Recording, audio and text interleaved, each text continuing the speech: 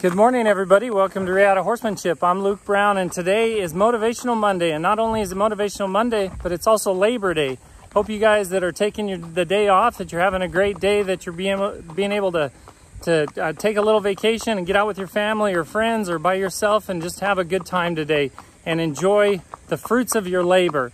And today for Labor Day, the people in the neighborhood or the scouts in the neighborhood have put up flags and they do that on most of the holidays that we have around here. And I love that. I love the United States of America flag and what it stands for. And today for Motivational Monday, I'm riding Duke. And remember, Duke is a four-year-old paint horse that I started working last week. So this is just the first day of his second week.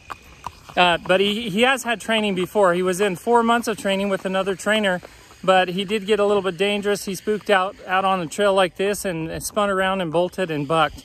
And so he came to me just for, for a month's time and we're gonna work through some of his issues. and He's doing really, really well. He's learned to use, to take a bit quite well. He's learning to neck rein pretty good and learning to lope in circles and walk out here and trot and lope out on the urban and rural trails.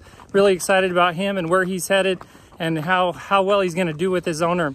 And today for Motivational Monday, I just wanna say one thing and it has to do with Labor Day. And that is do the work. You know, so many times we talk about what we're going to do. We, we tell people about what we're going to do and we, we plan things out and we think and we think and we think and we overthink. And overthinking leads to inaction and inaction leads to frustration and frustration leads to inevitable uh, failure in, for whatever you're trying to achieve in life. So the best way to get out of that habit of overthinking things is just to get up and start moving. Just move, just do some work, just do something that you're talking about doing. So if you if you want to lose some weight, if you want to start an exercise program, don't wait for the right program, don't wait for the right trainer, don't wait for the right tennis shoes, don't wait for the right day. Don't wait till tomorrow. Start today. Get up, get out, put some shoes on or go barefoot. I don't care what you do.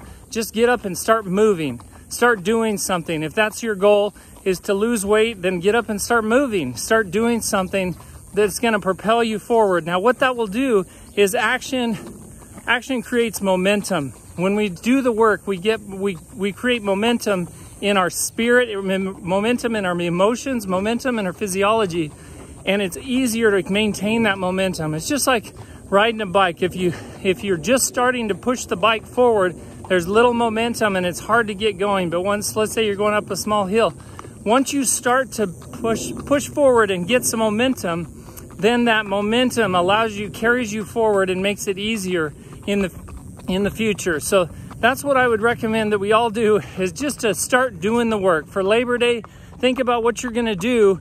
If you want to take today off, that's great, but tomorrow make a goal to to get going, to start working, to start doing what you've been wanting to do, what you've been talking about doing for years possibly. And uh, start making a difference by doing the work. And I hope we can all do that. Hope you guys have a wonderful Labor Day. And until next time, make sure to be thankful, live with purpose, live with passion. And as always, stay safe in the saddle.